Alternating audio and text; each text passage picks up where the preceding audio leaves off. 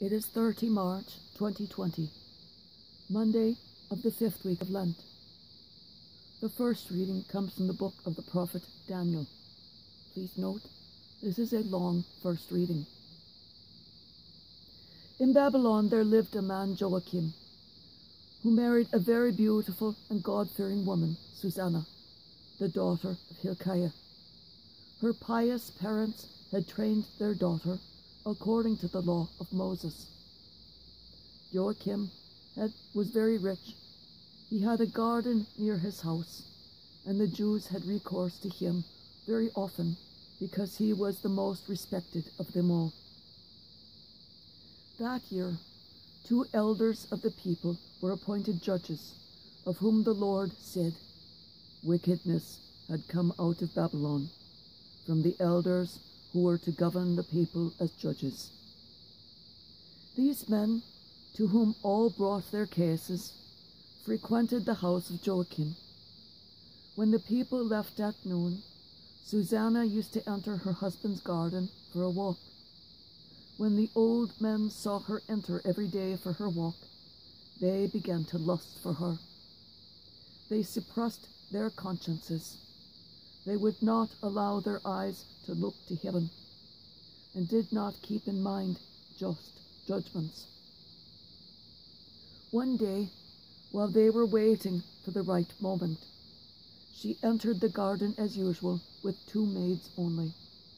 She decided to bathe, for the weather was warm. Nobody else was there except the two elders who had hidden themselves and were watching her. Bring me oil and soap, she said to the maids, and shut the garden doors while I bathe. As soon as the maids had left, the two old men got up and hurried to her. Look, they said, the garden doors are shut, and no one can see us. Give in to our desire and lie with us. If you refuse, we will testify against you that you dismissed your maids because a young man was here with you. I am completely trapped, Susanna groaned. If I yield, it will be my death. If I refuse, I cannot escape your power. Yet it is better for me to fall into your power without guilt than to sin before the Lord. Then Susanna shrieked, and the old men also shouted at her as one of them ran to open the garden doors. When the people in the house heard the cries from the garden, they rushed in by the side gate to see what had happened to her.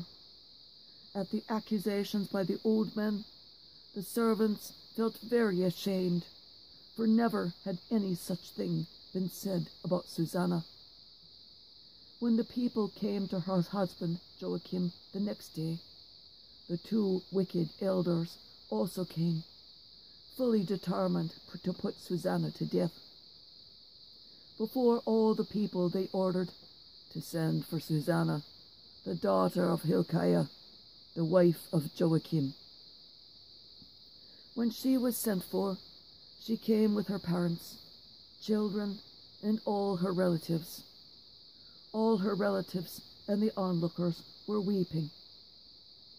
In the midst of the people, the two elders rose up and laid their hands on her head. Through tears, she looked up to heaven, for she trusted in the Lord wholeheartedly. The elders made this accusation. As we were walking in the garden alone, this woman entered with two girls and shut the doors of the garden, dismissing the girls. A young man who was hidden there, came and lay with her. When we, in a corner of the garden, saw this crime, we ran towards them. We saw them lying together, but the man we could not hold because he was stronger than we. He opened the doors and ran off. Then we seized her and asked who the young man was, but she refused to tell us. We testify to this.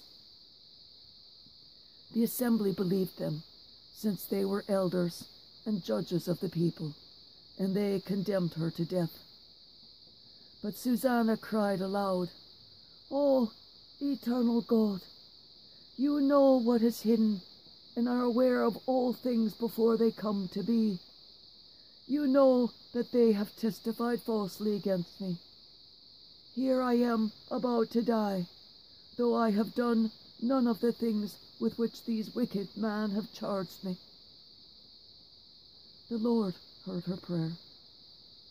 As she was being led to execution, God stirred up the Holy Spirit of a young boy named Daniel, and he cried aloud, I will have no part in the death of this woman. All the people turned and asked him, What is this you are saying?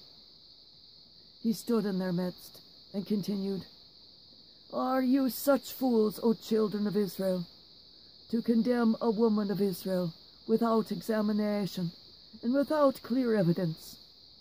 Return to court, for they have testified falsely against her. Then all the people returned in haste. To Daniel, the elder said, Come, sit with us and inform us, since God has given you the prestige of old age. But he replied, Separate these two far from each other, that I may examine them. After they were separated, one from the other, he called one of them and said, How you have grown evil with age. Now have your past sins come to term, passing unjust sentences, condemning the innocent and freeing the guilty, although the Lord says, The innocent and the just you shall not put to death. Now then, if you were a witness, tell me under what tree you saw them together. Under a mastic tree, he answered. Daniel replied, Your fine lie has cost you your head, for the angel of God shall receive the sentence from him and split you in two.